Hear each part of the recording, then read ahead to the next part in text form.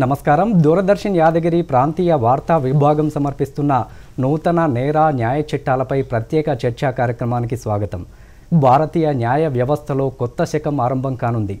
British కాలం నాటి చట్టాల స్థానంలో కేంద్ర ప్రభుత్వం తీసుకువచ్చిన నూతన న్యాయ చట్టాలు జూలై ఒకటి నుంచి అమల్లోకి రానున్నాయి. భారతీయ న్యాయ సంహిత రెండు వేల ఇరవై మూడులో మహిళలు బాలల హక్కులకు సంబంధించి ఎలాంటి అంశాలు పొందుపరిచారు? వారి రక్షణకు ఈ కొత్త చట్టంలో ఎలాంటి చర్యలు తీసుకోబోతున్నారు? ఈ అంశాలపై మనతో పాటు చర్చించడానికి స్టూడియోలో ఉన్నారు Osmania law college senior professor doctor G B Reddy గారు. జీబీ రెడ్డి గారు నమస్తే అండి. నమస్కారం. వెల్కమ్ టు దూరదర్శన్ స్టూడియో అండి. రెండు వేల ఇరవై మూడు భారతీయ న్యాయ సంహిత రెండు వేల ఇరవై మూడు చట్టం జూలై ఒకటి నుంచి అమల్లోకి రాబోతోంది. ఈ చట్టంలో ముఖ్యంగా మహిళలు బాలల హక్కులపై వారిపై జరిగే నేరాలపై కఠిన చర్యలు తీసుకుంటామని ఈ చట్టాలు చెప్తున్నాయి. దీనికి సంబంధించి న్యాయ సంహిత రెండు వేల ఇరవై మూడులో ఏ అంశాలు పొందుపరిచారు? ఈ భారతీయ న్యాయ సంహిత రెండు వేల ఇరవై మూడులో దాదాపు ఒక ముప్పై ఒక్క నేరాల గురించి చెప్పడం జరిగింది. ఒక చిన్న డిఫరెన్స్ ఏంటంటే ఇంతకుముందు మనము భారతీయ శిక్షా స్మృతి పద్దెనిమిది వందల అరవై ప్రకారము కూడా మహిళల పట్ల అదేవిధంగా పిల్లల పట్ల జరిగే నేరాలకు సంబంధించి చాలా సెక్షన్స్ ఉండినవి. కానీ అవన్నీ స్కాటర్డ్ అయి ఉన్నాయి. అంటే మొత్తం ఒక డిఫరెంట్ ప్లేసెస్లో ఉన్నవి. ఇప్పుడు ఏం చేశారంటే ఈ కొత్త భారతీయ న్యాయ సంహితలో ఒక విభాగం మొత్తాన్ని పిల్లలపై అదేవిధంగా మహిళలపై జరిగే నేరాలకు సంబంధించి డెడికేట్ చేయడం జరిగింది. ఇది chapter five section sixty three to ninety nine. దీంట్లో ముప్పై ఒక్క నేరాల్ని స్పెసిఫిక్గా పొందుపరచడం జరిగింది. దీంట్లో ఒక ఐదు హెడ్డింగ్స్ కింద ఇవ్వడం జరిగింది వీటిని. అంటే ఇవి మన సెక్షువల్ అఫెన్సెస్ కావచ్చును. అంటే లైంగిక పరంగా జరిగే నేరాలు. అదేవిధంగా నేరపూరితంగా వాళ్ళు శక్తిని ఉపయోగించే నేరాలు అసాల్ట్ ఇట్లాంటి అదేవిధంగా మ్యారేజ్ వివాహానికి సంబంధించిన నేరాలు తర్వాత మిస్క్యారేజ్ అంటే అబార్షన్ ఇవి గర్భస్రావం ఇది జరగడానికి చే- చేసే ప్రయత్నాలు మిస్క్యారేజ్ ఇంకా లాస్ట్లో పిల్లల పట్ల జరిగే నేరాలు. మొత్తం కలిపి ముప్పై ఒక్క నేరాలని ఐదు విడివిడి భాగాల కింద చాప్టర్ ఫైవ్లో పొందుపరచడం జరిగిందండి. మైనర్లతో చట్టవిరుద్ధ కార్యకలాపాలపై న్యాయ సంహిత రెండు వేల మూడు ఇరవై మూడులో ఎలాంటి అంశాలు పొందుపరిచారు? మైనర్ల విషయంలో ఈ చట్టం ఎలా ఉపయోగపడనుంది? నిజంగా చెప్పాలంటే ఈ మహిళల పట్ల జరిగే నేరాలే కాకుండా ముఖ్యంగా మైనర్లు అంటే పిల్లలపైన జరిగే నేరాల గురించి ఈ చట్టాన్ని పటిష్టం చేయడం జరిగిందని చెప్పొచ్చు. ఈ విషయంలో చెప్పాలంటే దాదాపు మనకు ఒక ఆరు నుంచి ఏడు ప్రత్యేకమైన నేరాల్ని గుర్తించడం జరిగింది. ఇప్పుడు ఒక పిల్లవాడిని మనం అబెండన్ చేశారనుకోండి వదిలేశారు. పిల్లలుగా వాళ్ళ పేరెంట్స్ కావచ్చు పన్నెండేళ్ళ లోపల ఉండే పిల్లవాడు లేకపోతే అమ్మాయి అయినా కూడా వాళ్ళని అబెండన్ చేస్తే అదొక నేరం కింద పరిగణిస్తారు. అంటే గార్డియన్ కావచ్చు తల్లిదండ్రులు కావచ్చు. అదేవిధంగా ఇంకొకటి ఏంటంటే ఈ మధ్య చూస్తూ ఉంటాం. చాలామంది సీక్రెట్గా పిల్లల్ని కానీ ఆ డెడ్ బాడీని డిస్పోజ్ ఆఫ్ చేస్తూ ఉంటారు. ఇప్పుడు దాన్ని ప్రత్యేకంగా ఒక నేరం కింద పరిగణించడం జరిగింది. అది సెక్షన్ నైంటీ ఫోర్ కింద. అదేవిధంగా ఇప్పుడు కొంతమంది ఏం చేస్తారంటే వాళ్ళు నేరం చేయకుండా ఒక ఇప్పుడు మన భారతీయ ఈ క్రిమినల్ చట్టాల్లో ఒక వెసులుబాటు ఏంటంటే చిన్నపిల్లలు నేరాలు చేస్తే వాళ్ళు బాధ్యులు గారు అనేది ఉంటుంది. అంటే ఏడేండ్ల లోపల పిల్లలు ఒకవేళ చేశారనుకోండి వాళ్ళు ఏ విధంగా బాధ్యులు గారు అనేది ఒకటి ఉంటుంది. ఏడేండ్ల పైన పన్నెండేండ్ల లోపల అంటే అక్కడ వాళ్ళు కొంతవరకే బాధ్యులు అవుతారనేది. అట్లాగా పెద్దవాళ్ళు ఎవరైనా పిల్లల్ని అంటే పద్దెనిమిది ఏళ్ళ లోపు పిల్లల్ని అంతకన్నా చిన్న వాళ్ళని నేరాలు చేయడానికి ఉపయోగించుకుంటే దాన్ని ఒక తీవ్రమైన నేరంగా పరిగణిస్తుంది ఈ కొత్త చట్టం. ఇదొకటి. తర్వాత పిల్లల్ని ఇప్పుడు కిడ్నాప్ చేయడం కానీ లేకపోతే ఎత్తుకొస్తారని చెప్తా ఉంటారు. సో ఆ ప్రొక్యూరేషన్ ఆఫ్ చైల్డ్ అనేది కూడా ఒక నేరం కింద వస్తుంది. అదేవిధంగా పిల్లల్ని కిడ్నాప్ చేసి ఇది ఒక లైంగికపరమైన కార్యకలాపాల కోసం ఉపయోగించడానికి లేకపోతే పెళ్ళి పేరుతో కానీ ఇంకో విధంగా ఉపయోగిస్తే కూడా అది ఇంతకుముందు ఉన్నది. దాన్ని కూడా ఈ కొత్త భారతీయ న్యాయ సంహితలో పొందుపరచడం జరిగింది.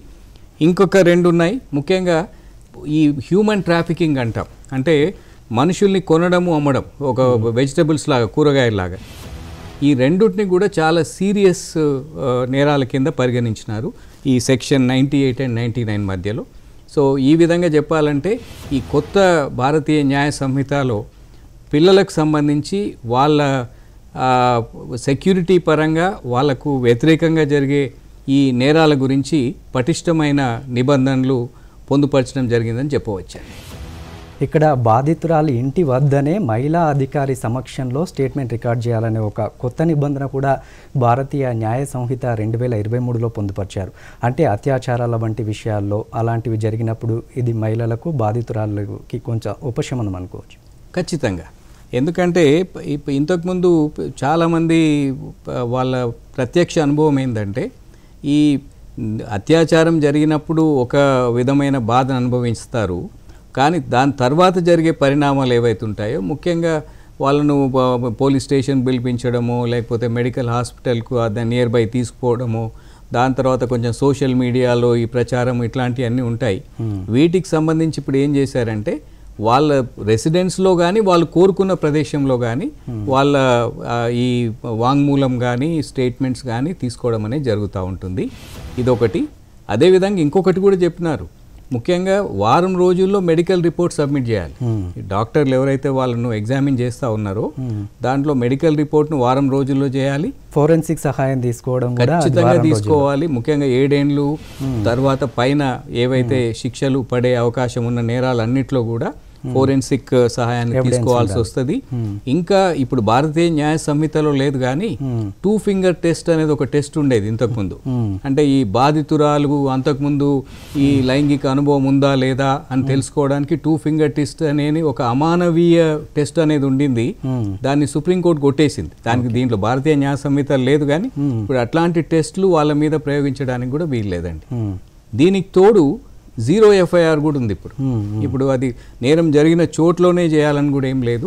జీరో ఎఫ్ఐఆర్ అన్నప్పుడు వాళ్ళు ఆ బాధితురాలు ఎక్కడున్నా కూడా నేరం ఎక్కడైనా జరగవచ్చు బాధితురాలు ఇంకెక్కడైనా కూడా జీరో ఎఫ్ఐఆర్ లాంటివి కూడా వాళ్ళు ఆన్లైన్ ఎఫ్ఐఆర్ అంటే ఇంటి దగ్గర ఫిర్యాదు చేయొచ్చు. ఈ ఎఫ్ఐఆర్ జీరో ఎఫ్ఐఆర్. ఈ రెండు కూడా ఈ బాధితులకు రక్షణగా ఉంటాయని నేను భావిస్తాను ఓకే. ఇక్కడ భారతీయ న్యాయ సంహితలో ఒకటి స్పెషల్గా పెట్టారు. మహిళలను పెళ్ళి చేసుకుంటానని మోసం చేసినది కూడా చేసిన వాళ్ళని కూడా ఇక్కడ కేసు తీసుకోవచ్చు. అది కూడా నేరంగా పరిగణిస్తామని న్యాయ సంహిత రెండు వేల ఇరవై మూడు చెప్తోంది. దీనిపై మీరేమంటారు?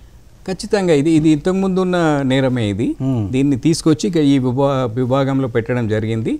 వాళ్ళు ఇంకొకటి ఏంటంటే ఒక కొత్త నేరాన్ని వీళ్ళు సెక్షన్ సిక్స్టీ నైన్ కింద గుర్తించినారు ఇప్పుడు. ఆ నేరం ఏంటంటే sexual intercourse by employing deceitful means అన్నారు అంటే మోసపూరితమైన చర్యలతో వాళ్ళతోని లైంగిక సంబంధాలు పెట్టుకోవడం.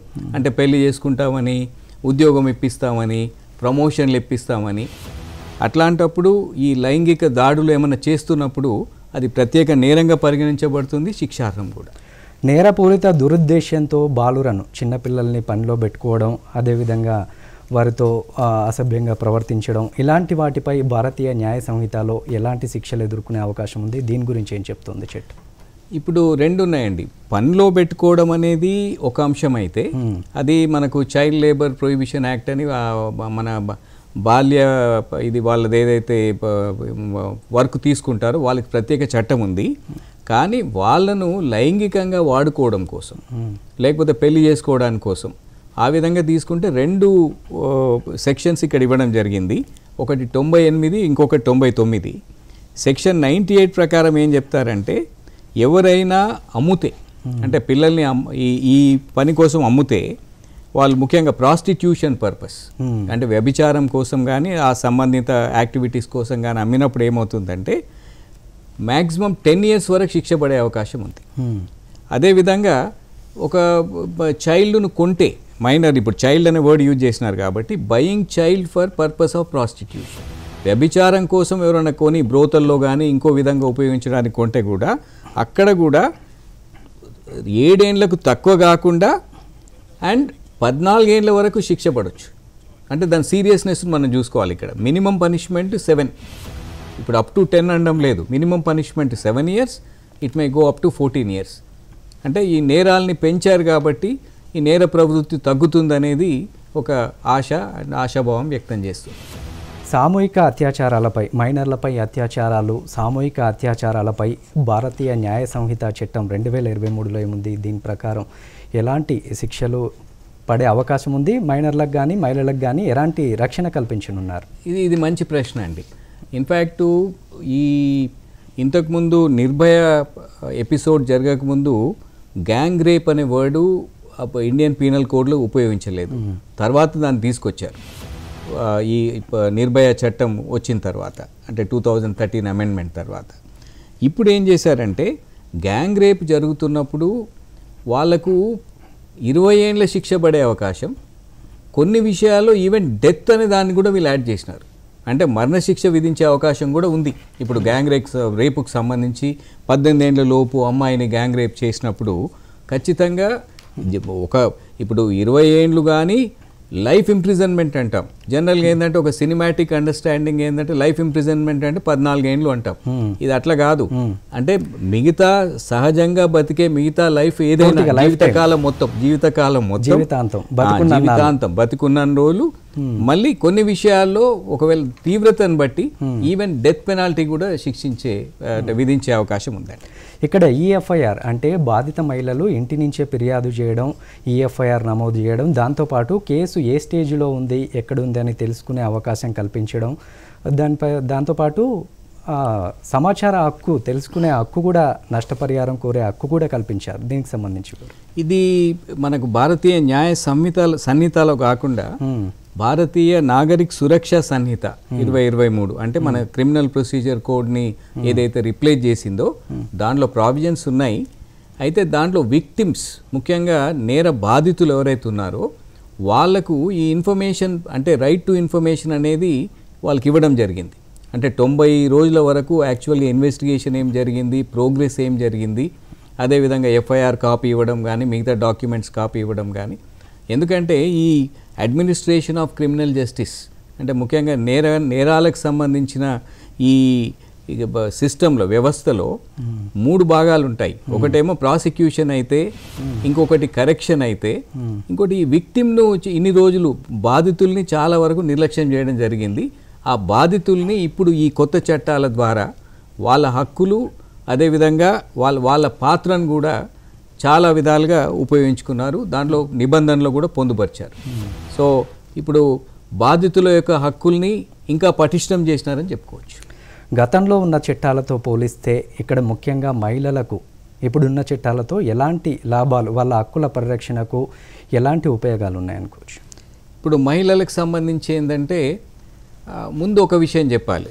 ముఖ్యంగా ఈ వీళ్ళకు యూజ్ ఆఫ్ క్రిమినల్ ఫోర్స్ నేరపూరితంగా వాళ్ళ మీద ఈ బల ప్రయోగం చేసినప్పుడు కానీ అసాల్ట్ దాడి చేసినప్పుడు కానీ ఇంతకుముందు ఒక రెండు చట్టాల్లో దాంట్లో ఇప్పుడు ముఖ్యంగా డిస్రోబింగ్ అంటాం. అంటే వివస్త్రణలు చేయడం ప్రయత్నం చేయడానికి. అదేవిధంగా వాయరిజం అంటాం. ఈ వాయరిజం అంటే జనరల్గా మనం తొంగి చూడడం అనేది అంటే ప్రైవేట్ యాక్టివిటీస్ చేస్తున్నప్పుడు వాటిని తొంగి చూడడం అనేది. వీటికి సంబంధించి ఇంతకుముందు పురుషులు మాత్రమే శిక్షార్హులు ఉండేవారు. ఇప్పుడు ఈ కొత్త చట్టం ప్రకారం ఏం చేశారంటే ఎనీ పర్సన్ అనే వర్డ్ యూజ్ చేసినారు. అంటే పురుషులనే కాకుండా మహిళలను కూడా బాధ్యుల్ని చేసినారు. ఇది ఎందుకంటే చాలా విషయాలు ఒక్కొక్కసారి మహిళలే మహిళల పట్ల కొన్ని నేరాలు జరిగి చేసే అవకాశాలు ఉంటాయి కాబట్టి ఇదొకటి. కానీ మొత్తంగా చూసుకుంటే మాత్రం ఖచ్చితంగా మహిళలను మనము ఒక ఎంపవర్ చేసినట్టు అనుకోవచ్చు. బాధితులుగా ఉన్న మహిళలందరినీ కూడా. ఎందుకంటే వాళ్ళకు పార్టిసిపేషన్ అంటే వాళ్ళు ఈ ప్రక్రియలో పాల్గొనే హక్కు సమాచారం తెలుసుకునే హక్కు న్యాయ సహాయం పొందే హక్కు నష్టపరిహారం పొందే హక్కు కూడా. ఇవన్నీ చాలా పొందుపరిచారు కాబట్టి వీళ్ళ పొజిషన్ ఏదైతుందో ఖచ్చితంగా అది ఇంప్రూవ్ చేసినారు అని చెప్పుకోవచ్చు. Right thank you G B Reddy గారు. థ్యాంక్ యూ ఇది కేంద్ర ప్రభుత్వం తీసుకొచ్చిన మూడు కొత్త నేర న్యాయ చట్టాలు జూలై ఒకటి నుంచి అమల్లోకి రాబోతున్నాయి.